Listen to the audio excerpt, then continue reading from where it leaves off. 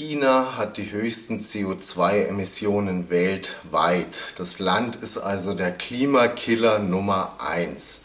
Es ist aber nicht so, dass China nichts dagegen tun würde. China tut sogar sehr viel dagegen und investiert stark in Umwelttechnologie und in alternative Energien. Und das sind dort inzwischen auch riesige Sektoren. Und davon kann man auch als Anleger profitieren und darum geht es heute. Willkommen bei Zukunftsmärkte.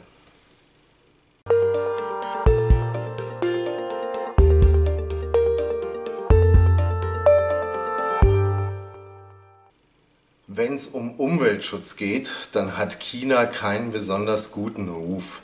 Da haben die meisten Leute Bilder im Kopf natürlich äh, mit den Großstädten, die im Smog ersticken und die großen Industrieanlagen und die rauchenden Schlote selbstverständlich, die die Luft verpesten. Und man weiß natürlich auch, China ist inzwischen äh, äh, enorm groß, hat eine enorm große Wirtschaft und das geht eben auch einher mit einem hohen Energieverbrauch und mit hohen CO2-Emissionen. Hier haben wir eine Statistik für das Jahr 2018, die ist von CNBC.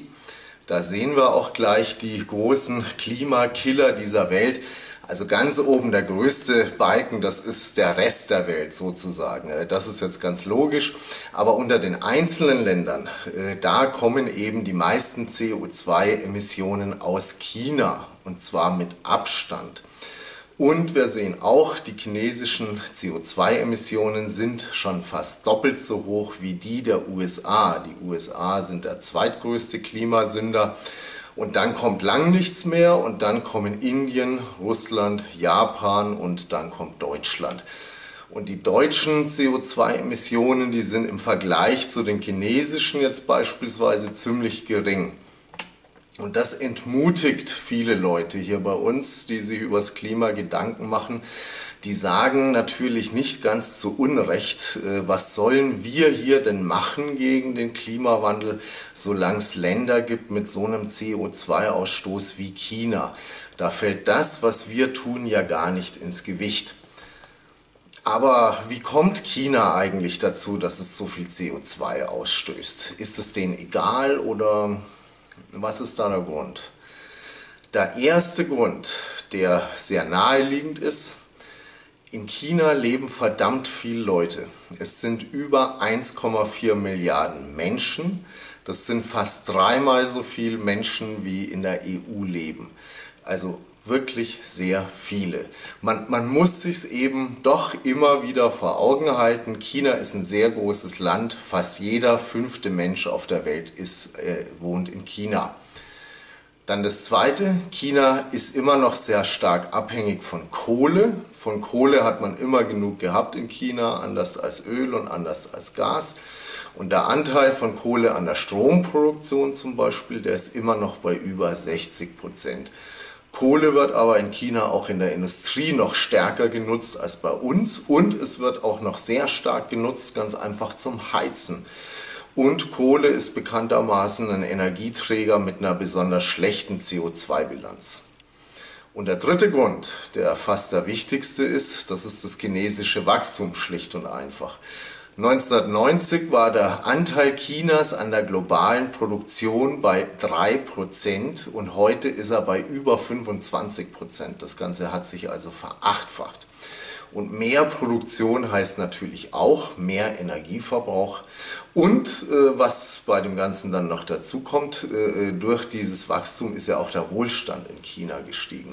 Vor 30, 40 Jahren, da waren so gut wie alle Chinesen bettelarm und das ist heute aber nicht mehr so. Und äh, die Chinesen haben aber natürlich genauso wie wir auch gerne eine warme Wohnung und fahren, würden auch gern mal in Urlaub fahren, hätten auch ganz gerne ein Auto.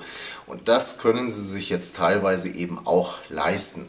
Und auch dadurch haben wir einen starken CO2-Anstieg gehabt durch diese Entwicklung.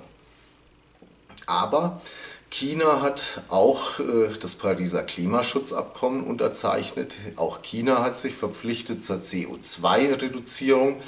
Der Präsident Obama damals, der hat die Chinesen ja bekniet, dass sie da mitmachen. Die Chinesen haben erstmal gesagt, naja, äh, vorsichtig hier mal, äh, bei euch ist es ja so, da kommt nach vier Jahren eine neue Regierung und dann ist das alles hinfällig. Aber wenn wir sowas versprechen, dann müssen wir uns auch dran halten. Und so ist es dann ja auch gekommen, tragischerweise irgendwie. Also die USA sind ja schon längst wieder raus aus dem Pariser Klimaschutzabkommen. Und jetzt sind die Chinesen, unter anderem die Chinesen natürlich, jetzt sind die Chinesen die, die sagen, man muss sich doch an das Abkommen halten. Was hat China da zugesagt? China hat zugesagt, äh, äh, dass seine Emissionen ab 2030 zurückgehen sollen. Klingt jetzt erstmal nicht besonders toll, weil das ja auch heißt, bis 2030 dürfen sie noch steigen. Jetzt ist es aber so, äh, der Punkt, äh, wo die Wende kommt, wo der Rückgang kommen soll, der wird wahrscheinlich früher erreicht, vermutlich 2022, was schon sehr gut wäre. Und das Zweite ist, wenn man das schafft, diese Reduzierung, dann wäre das im Verhältnis zur Wirtschaftsleistung und im Verhältnis zu den 90er Jahren schon eine Verringerung um 60 bis 65 Prozent. Und das ist schon sehr ordentlich. Und diese Zusage ist China auch nicht leicht gefallen. Und man muss auch sagen, sie arbeiten hart dran. Es gibt zum Beispiel eine Studie von der Europäischen Investitionsbank, und die sagt, äh, dass in der Europäischen Union 2018 158 Milliarden Euro ausgegeben worden sind für Klimaschutz.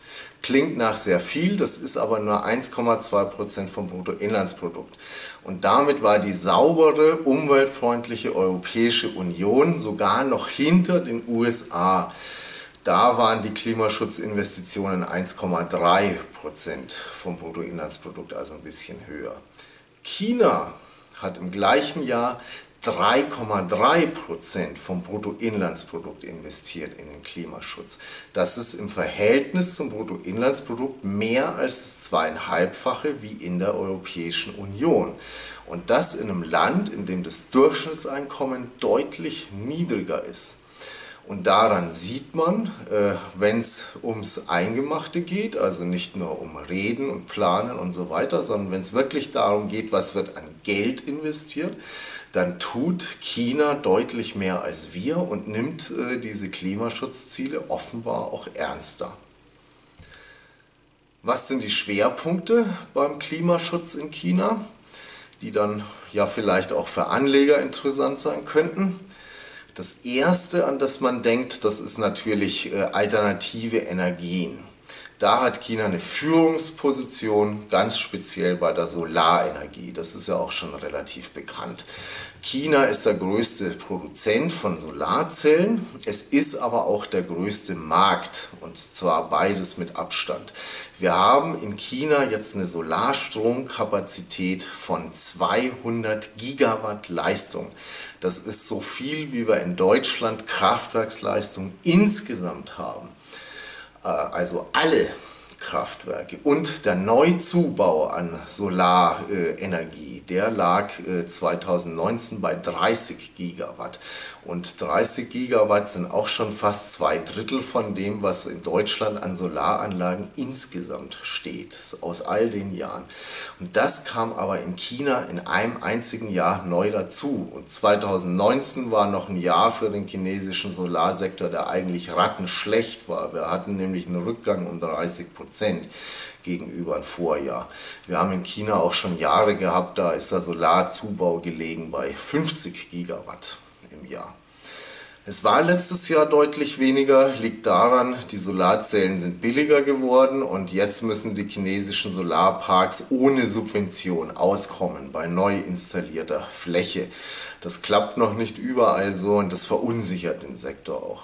Der Sektor ist auch kein einfacher Sektor, das haben viele Anleger sicherlich gemerkt, da konnte man schon auch Geld verlieren. Peking hat seinen Solarsektor hochgepäppelt, ganz stark, aber es nimmt ihn auch schon immer ganz schön ran, wie man jetzt ja auch wieder sieht. Es ist aber trotzdem ein interessanter Sektor, weil Solarstrom jetzt eben von den Produktionskosten her konkurrenzfähig geworden ist in fast allen Ländern. Und ich will Ihnen zu diesem Sektor auch ein paar Aktien vorstellen oder beziehungsweise ein Update äh, zu solchen Aktien machen. Und zwar nächste Woche im Zukunftsmärkte-Report. Da schauen wir uns vier chinesische Solaraktien an, mal ganz speziell und stellen uns da die Frage, wo stehen wir da heute? Ich habe jetzt gedacht zum Beispiel mal an die berühmte Yinko Solar Aktie und dann haben wir Canadian Solar, auch ein interessanter chinesischer Solarwert. Dann gibt es noch einen Hersteller von Silizium aus China, der sehr günstig produziert, nämlich Daco New Energy. Und als viertes schauen wir uns noch einen chinesischen Solarparkbetreiber an. Da weiß ich aber noch nicht, welche Aktie, das entscheiden wir dann noch. Und die Zukunftsmärkte-Reports von uns, die sind natürlich gratis. Das Einzige, was Sie dafür machen müssen, wenn Sie die auch haben wollen, Sie müssen sich einmal anmelden auf www.zukunfts-märkte.de. Also eintragen am besten gleich, wenn Sie es noch nicht gemacht haben. Dann können Sie mit dem nächsten Report das Solarthema wirklich mal vertiefen. Und der Link äh, für die Reports von uns, der ist auch hier unter dem Beitrag. Das gleiche wie bei Solarenergie haben wir übrigens in China auch bei der Windenergie. Also auch da haben wir die größten äh, Kapazitäten und auch da haben wir Jahr für Jahr den größten Kapazitätszubau in China. Das zweite große Klimaschutzthema in China, das ist das Elektroauto. Das ist ein Thema für sich, haben wir hier schon oft behandelt und es war eben auch 2019 wieder so, dass mehr als die Hälfte aller Elektroautos weltweit in China verkauft worden sind. China ist also nach wie vor der wichtigste Markt und China ist auch das Land, äh, das für die Durchsetzung des Elektroautos am meisten getan hat bis jetzt. Bei uns haben wir Debatten und Diskussionen gehabt die letzten Jahre und es ist viel lamentiert worden. Passiert ist bei uns so gut wie nichts. Und dass wir jetzt auch so viele Elektroautomodelle haben oder bekommen werden, auch von unseren Autoherstellern und dass auch unsere Autokonzerne da jetzt massiv investieren, das ist nicht das kommt nicht zustande durch unser ökologisches Gewissen, sondern das ist zum größten Teil der, der, der Verdienst der Autopolitik in China. Die chinesische Politik hat der Autoindustrie das Elektroauto eingeprügelt. Und darum kommt es jetzt wahrscheinlich auch bei uns oder es kommt bei uns auch verstärkt. Für Anleger ist es natürlich ein großes Thema in den nächsten Jahren, Elektroautos an sich, dann natürlich die Batterien, die Batterierohstoffe und aber auch in diesen Sektoren ist es eben sehr wichtig in Zukunft, was in China passiert. Noch ein interessanter Bereich, der nicht so bekannt ist, das ist das Thema Erdgas, Flüssiggas. Wie gesagt, China ist immer noch stark abhängig von Kohle, aber China versucht einen Teil der Kohlenutzung zu ersetzen durch Erdgas in den nächsten Jahren. Erdgas ist auch ein fossiler Energieträger, aber die CO2-Bilanz in der Erdgasverbrennung, die ist deutlich besser als die von Kohle. Und darum gibt es jetzt eine sehr große Kampagne, die Gas zu Gas statt Kohle Kampagne für die Stromindustrie, für die chinesische Industrie insgesamt, aber auch eben für Gebäude, öffentliche, Haus, öffentliche Gebäude und die privaten Haushalte. Die sollen in Zukunft auch mit Gas heizen. Dafür wird das Pipeline-Netz massiv ausgebaut, die Hafenterminals entsprechend werden ausgebaut. Es gibt ja auch die große Pipeline aus Russland momentan. Meiner Meinung nach wird der Gasverbrauch in China in den nächsten Jahren deutlich steigen und das ist ein Thema, das viele Anleger eigentlich nicht auf dem Schirm haben zurzeit, weil ja die Gaspreise in letzter Zeit gefallen sind, äh, Konjunktur beginnt. Es, dadurch entstehen in dem Sektor meiner Meinung nach jetzt schon Chancen. Es ist also ein Sektor, den man in nächster Zeit, denke ich, beobachten sollte und ein Sektor, den meiner Meinung nach die Anleger auch zu wenig beachten, vor allem was den asiatischen Markt betrifft. Es gibt noch mehr Themen in dem Bereich, die sehr spannend sind. Und ich habe es auch schon mal erwähnt, dass zum Beispiel auch der Kohlesektor in China nicht uninteressant ist. Klingt jetzt ein bisschen absurd und, und widersprüchlich, aber Ob man es jetzt gern hört oder nicht, Kohle wird in China trotz allem noch äh, lange eine Rolle spielen. Es sind neue Kohlekraftwerke in Planung mit einer Kapazität von 120 Gigawatt. Damit werden natürlich auch ältere Kohlekraftwerke ersetzt, die alten Dreckschleudern teilweise auch. Aber wir werden wahrscheinlich auch in Zukunft in China eine Kohlestromkapazität haben von 1000 bis 1200 Gigawatt. Und insofern ist es ein bisschen merkwürdig, dass der Aktienmarkt den chinesischen Kohlesektor eigentlich schon abgeschrieben hat. Also wenn man sich die chinesischen Kohleaktien anschaut, dann hat man den Eindruck zumindest. Es gibt meiner Meinung nach da auch Unterbewertungen. Dann haben wir in China natürlich den Wasserkraftkomplex, wir haben die Kernenergie, wir haben Wasserstoff, wir haben den Kläranlagenbau, da muss sich auch viel tun und so weiter. Es gibt also jede Menge Energiethemen und Umweltthemen, mit denen sich eine Beschäftigung lohnen kann. Alles in allem es ist auf jeden Fall fürs Weltklima wichtig, was in China passiert. Das ist, glaube ich, völlig unbestritten. Das gilt auch nicht nur allein für China, sondern es gilt auch für die Schwellenländer insgesamt. Ich glaube nicht, dass man den Kampf gegen den Klimawandel gewinnen kann ohne die Schwellenländer. Was man aber leider auch sagen muss, äh, die Forderungen, die da an die Schwellenländer manchmal herangetragen werden von den reichen Ländern, das ist schon auch ein bisschen zwiespältig, weil wir ja von denen gewissermaßen fordern, dass sie auf den Wohlstand, den wir schon haben, doch bitte verzichten sollen im Sinne auf das Klima. Also wir können uns schon Urlaubsreisen leisten, wir fliegen schön nach Bali und Vietnam, aber dem Vietnamesen da, dem missgönnen wir letzten Endes, dass er irgendwann mal von seinem Moped umsteigt auf ein Auto. Oder Urwälder, weiteres Beispiel. Wir haben unsere Urwälder abgeholzt vor Jahrhunderten schon. Wir forsten da auch nicht mal großartig was auf. Aber die Schwellenländer sollen das nicht tun. Nur äh, Palmöl und Soja, die dann auf den gerodeten Flächen angebaut werden, die hätten wir schon ganz gern und die hätten wir auch gerne möglichst billig. Da tut sich natürlich schon was, äh, das eine oder andere in dem Bereich. Ich, ich finde jetzt auch nicht gut, wenn die Regenwälder äh, gerodet werden. Aber wir machen es uns da in vielerlei Hinsicht immer noch zu einfach. Und wo wir es uns auch sehr einfach machen, das ist die Industrieproduktion an sich. Also wie schon gesagt, äh, Chinas, äh, der Anteil an der, an der globalen Produktion ist immens gestiegen, haben wir hier als rote Linie. Dann Westeuropa gestrichelt grün, die USA blau, Japan die schwarze Linie. Da geht der Anteil an der Produktion, an der globalen überall stark zurück. Wir haben in den sogenannten Industrieländern eigentlich ja sogar eine starke Tendenz zur Deindustrialisierung teilweise.